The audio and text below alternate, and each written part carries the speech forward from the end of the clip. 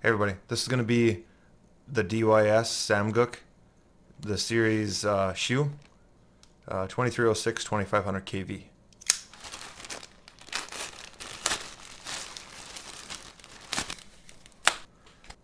And there's all the motors come packaged.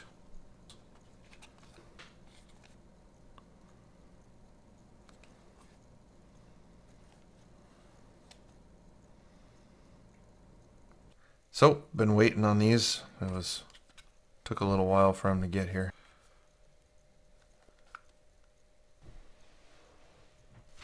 So, let's dig into them. Uh, you know, it's a comic or something.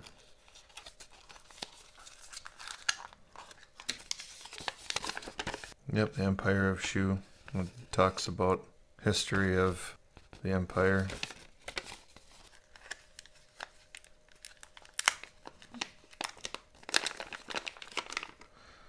First thing I noticed, big glob of balancing putty right there. Big goober. It's not a full hollow shaft, partially hollow. The air gap isn't too super big. They feel about like the Racerstars, the 2306. The windings are way bigger. Well, they feel a little bit more notchy, just a little bit more. But they look just way bigger for some reason. 28.5. Huh, just weird. Maybe because it's all open and flat. But yeah, you can see the windings, full view of everything. Oh, there's some sloppy winding right there. You can see the windings kind of sketch. And here too. Oof, I don't like that. But other than that, the rest of them look alright. Definitely not arced magnets. You can tell that right off the bat just by looking at them. You can see that the magnets are totally flat when I stick the screwdriver over it. Lines up perfectly on that edge. Definitely not arced magnets. But we'll see what the performance is like. Suppose I can get a weight really quick first. And it comes with, oh, it comes with extra clips, two extra clips. Well, maybe I'll pull the bell off really quick then and show you. There's a little dent in the, the bearing cap right here and here.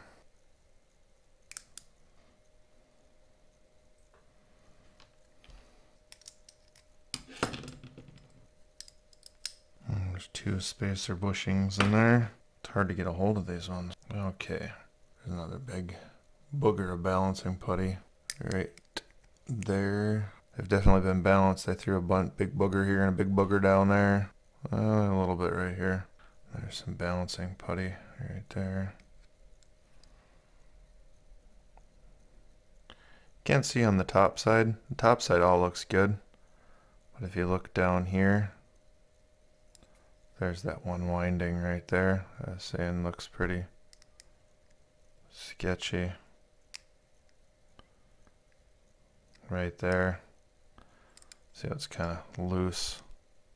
It is the end that comes over and comes out, so it just wasn't pulled all the way tight. I don't like to mess with them too much because I don't want to knock the insulation off, but I definitely don't want it rubbing on the magnets. But, and this one too, you can see how the windings kind of stacked up there. I've seen it on other motors.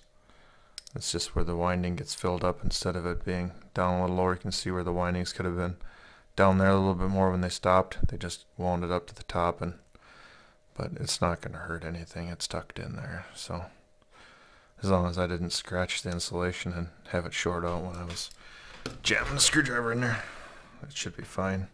And you can see this bearing looks good on the top side right around here that looks good. But you can see the two dents dent there and there.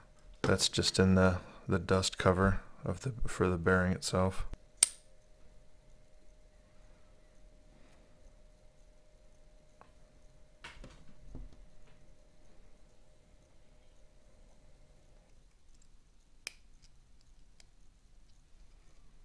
Well that bearing slides around in there real easily just push on it and the, bearing will move around in there.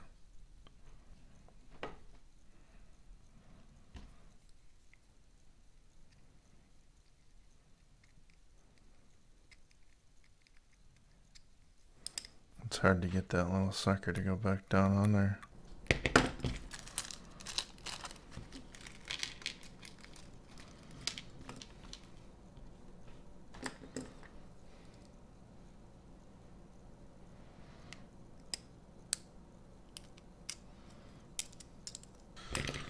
I think I got her. A little bit more of a hassle than I'm used to. No, she's in there.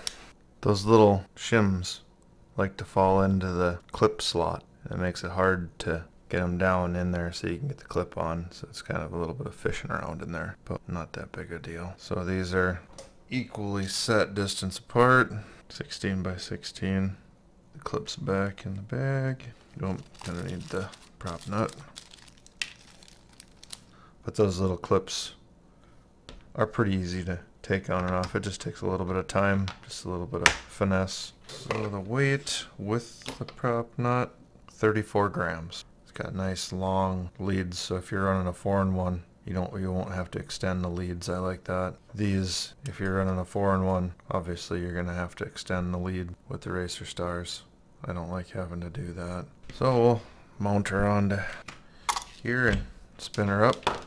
This is my first set of naked motors without a skirt on them at all. We'll see how I like that. You always hear both ways. You hear good and bad. I like it because the dirt will fall out or, or I don't like it because it gets dirt in them easily. And I better use the same prop I used on the other ones. Okay, so now we're going to run a little thrust test on it.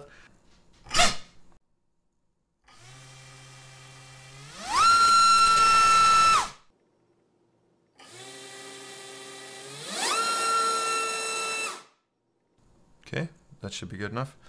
Um, basically, my thoughts on this motor is it's a little bit more efficient versus thrust than the AOK. It's not as efficient, but it has more thrust than the Racerstar. So it kind of depends where you want to go. For the same price between this motor and this motor, the Racerstar, um, DYS Shu.